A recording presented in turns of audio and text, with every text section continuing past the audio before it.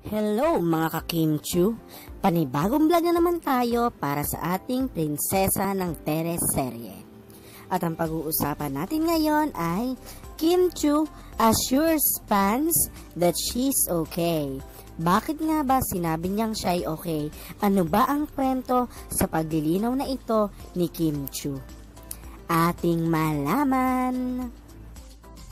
Trending na trending talaga ang Love Thy Woman. Sa YouTube pa lamang, pumalo na ng halos 26,000 ang viewers nito. Kaya madami talaga ang nakatutok sa, sa palabas. Pero marami ang nakapuna na may mali sa itsura ni Kim na parang ito ay may iniindang karamdaman kaya marami ang nag-PM sa kanya.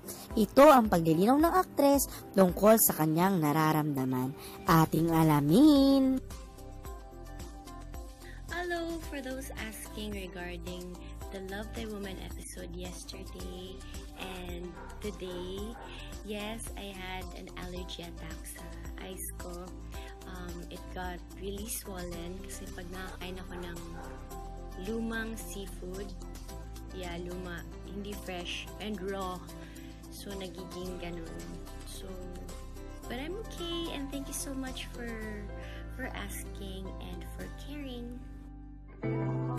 Talaga nga namang marami ang concern at nagmamahal kay Chinita Princess. Bagamat nakaramdam ng allergy, dinaan niya na lang ito sa paglilibang sa sarili tulad ng face-up game na ito. Kaya naman Chinita Princess, take care always. Yan nga po ang latest sa ating nag-iisang Chinita Princess. Trending na trending ang Love Day Woman, kaya naman trending din sa ating puso si Kim Chu.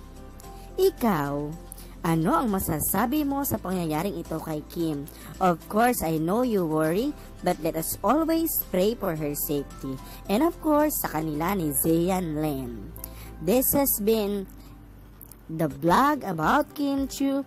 Always keep updated, subscribe, and comment down below.